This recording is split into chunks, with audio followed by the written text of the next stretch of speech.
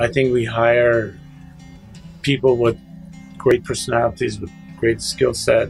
Uh, we care. We care for our employees, our customers, and everyone here like any family does because we are one big family, Rosendin family. I made some, I think, lifelong friends that I've had. Whether they're, they've stayed here or not, they're still, I'll have lifelong friends and memories from here. At Rosendin, people really care about you.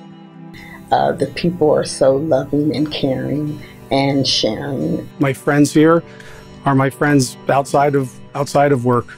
The personal touch with coworkers and with the you know upper management that are always seem to be interested in how you're doing, how your family's doing, and making sure you're uh, you know you're happy in your job. And I think that's one of the greatest things about this company.